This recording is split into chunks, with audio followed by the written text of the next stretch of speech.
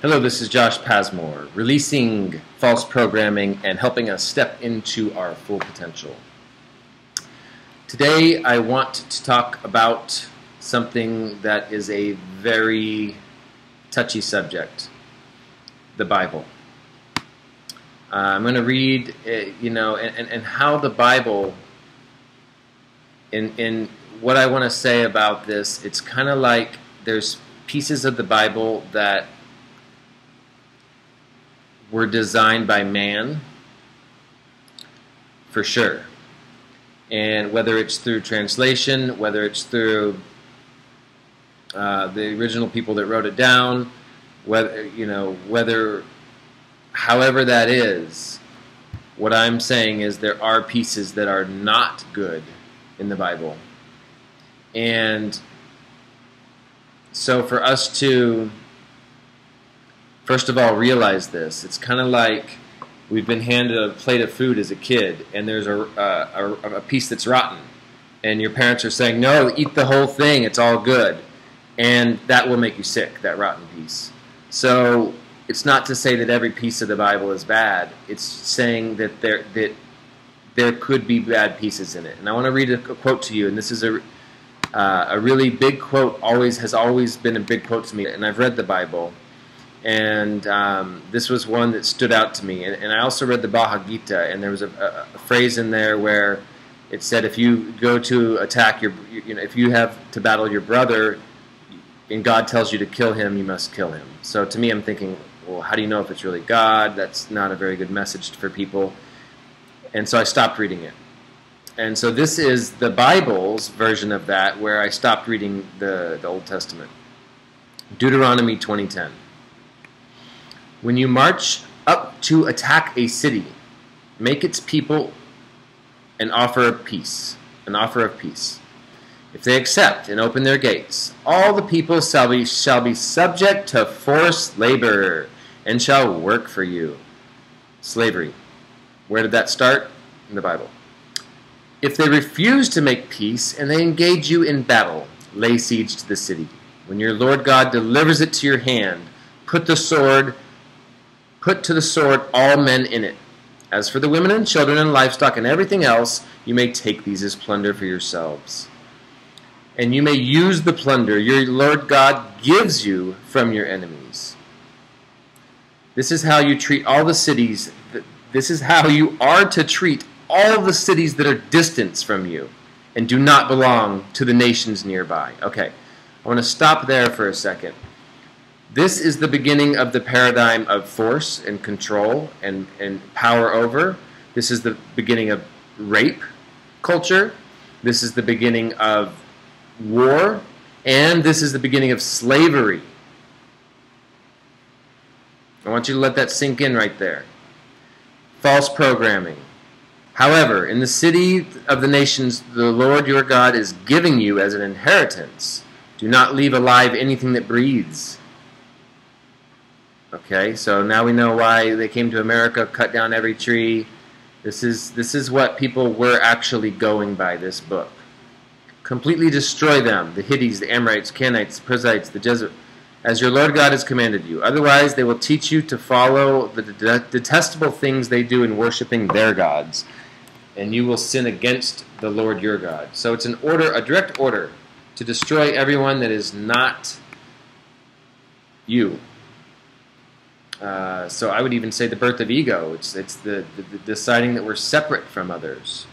Um, so as we step into this this new full potential world, it's very hard to come to your full potential when you're coming from de dealing with uh, ourselves, a piece of ourselves that's destroying ourselves. How do we live our full potential when we're destroying ourselves? So the first thing is to overcome the mind the mindset of separation to to step out of that reality and that game and realize the systemic cause of a lot of this and how there the, that the world was has been taken over by an elite few.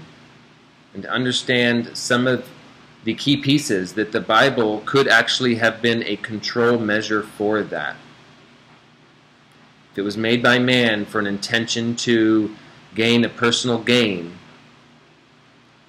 then the money system, everything that's been developed from that, is going to be built in the same paradigm. And it's going to reflect that and support that same mission to enslave.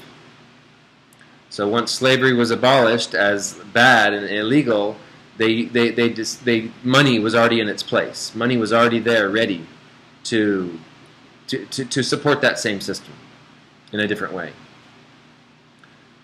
So how we're releasing that is by releasing the money system. And this is going to be another thing hard to digest. It's just like, well, what? We can't go kill our neighbor and just take their wife and do whatever we want with her and, her, and their children and enslave them and do whatever we want? No, we can't. And what? We can't just you take a job that we're offering us a bunch of money and go spend it? No. It's supporting the same system. So so we've got to redevelop how we're working together. We have to redevelop our economy. Um, we have to redevelop how we're treating each other and how we view the world. And so what it starts with, just as a beginning, is realizing that we've come from false programming. And where the world's headed because of that. And so how important it is, like the four agreements, how, how important it is to have integrity with our word, how important it is to what we're following. What are we following? And if we're following a money system because it's all we know, we're supporting further the destruction of the world. And that's not fair to our children. And our children aren't going to understand this necessarily unless we teach them this. So what are we following? What are children following? What are we teaching them? So that's that's the where I want to leave this segment of of finding our full potential and, and releasing old programming. Thank you for watching. I hope that together, as we move forward, we can we can support each other in in creating the best possible scenario for ourselves when it comes to to how we're going to step into this new future together. So. I encourage you to do mastermind groups, to get together, to start to look into contribution economies. Uh, that's really the transition is the contribution economy. Take a look at before money was even invented. And look, we just helped each other build our houses. We helped each other garden. We ate the food together. Uh, it's more about if we build a house together, what we're doing in the house than who controls which doors because they built them. So let's start looking at our control measures, our force force on other people, forcing anyone to do really anything because we have the right to do it you know, like rethinking that. What gives us the right to force others into into anything, especially if it's forced labor? Uh, that's for us. Making someone's life, like ruining their life, to, to serve us. That does not bring God to them it doesn't bring it to us either. We're the same side of the duality. We're, we're playing the king queen, and this is what money's doing to us today still king, queen, and servant.